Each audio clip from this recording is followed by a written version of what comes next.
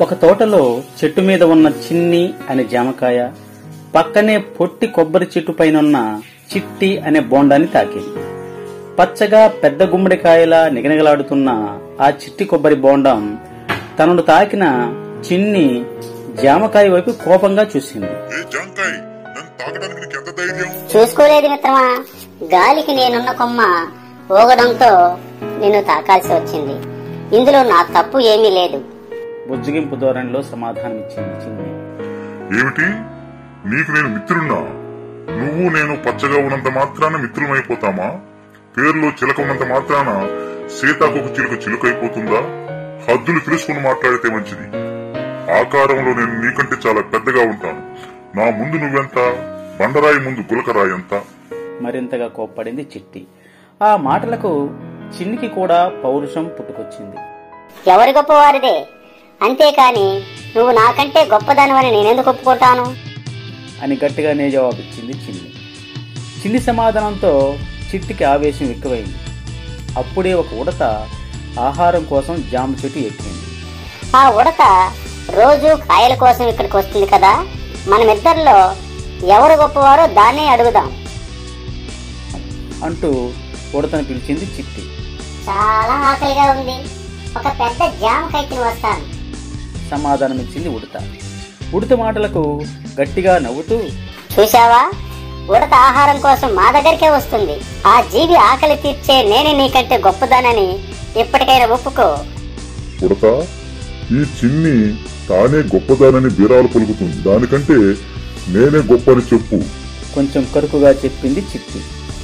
ఉడత నేనే గొప్పని చెప్పకపోతే నీకు ఆహారం దొరకకుండా చేస్తాను.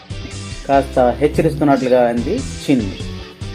జామకాయ కొబ్బరి బోండం మాటలు విన్న ఉడత ఒక్కసారిగా నవ్వింది.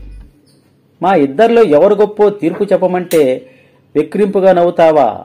అంటూ చిట్టి చిన్నిలిద్దరూ కోపంగా ఉడత వైపు చూశాయి. అప్పుడు ఉడత పరోపకారానికి తరువులే గురువులంటారు.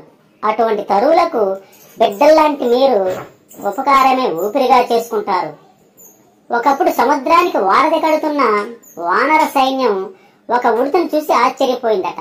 ఎందుకంటే వేలుడంత కూడా లేని ఉడత చిన్న చిన్న ఇసుక రేణువులు మోసుకెళుతూ వారధి నిర్మాణంలో తన వంతు సహాయం చేసిందట. నీకు సహాయం చేయాలని ఎందుకు అనిపించింది? అని ఆ ఉడతను అడిగింది వానర సైన్యం. అప్పుడు ఆ ఉడత నిస్వార్థంగా సమాజానికి ఉపయోగపడే అపకారికి కూడా ఉపకారం చేసే చెట్లే నాకు ఆదర్శమని చెప్పిందట అని వివరించింది ఉడత. అల్పజీవికి ఆదర్శంగా నిలిచిన చెట్లకు జన్మించిన మీరు మాత్రం సమయాన్ని వృధా చేస్తూ ఎవరు గొప్ప చెప్పమంటే నవ్వుకోక ఇంకేం చేయమంటారు? మీలో ఒకరు దాహం తీరుస్తారు మరొకరు కడుపు నింపుతారు.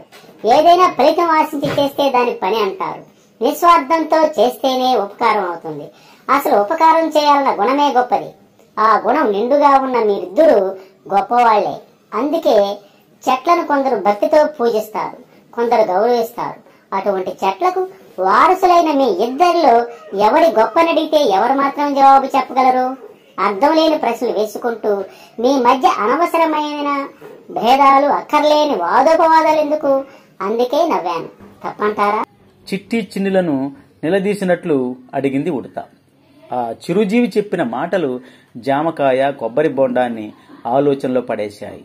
తమ తప్పు ఏంటో తెలుసుకున్నాయి. ఆ రెండింటిలో వచ్చిన మార్పునకు సంకేతంగా ఒక్కసారిగా చల్లని గాలి వీచింది. ఆ గాలికి చిన్ని చిట్టిని మళ్ళీ తాకింది. కాని ఈసారి దాన్ని ఏమీ అనలేదు సరికదా? చిన్ని వైపు చూసి నవ్వింది చిట్టి. చిన్నిలో వచ్చిన మార్పును చూసి ఉడత ఆనందిస్తూ జామకాయను తినడం ప్రారంభించింది.